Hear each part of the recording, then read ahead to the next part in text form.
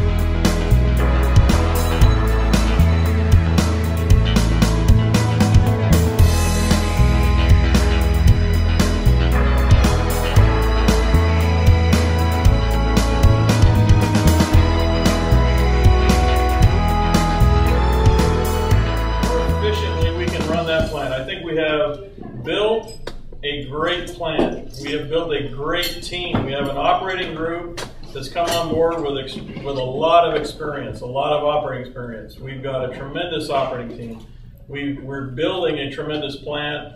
We've got owners that are strong financially and are backing this plant and the future of this plant. And they're here. We're here for the long haul. This is not going to be something that is quick or fast. This plant is here for the next 50 years. You need uh, the, the right kind of um, mental framework, relationship approach. We really, I think, uh, are looking to establish that long-term relationship uh, and uh, make it work.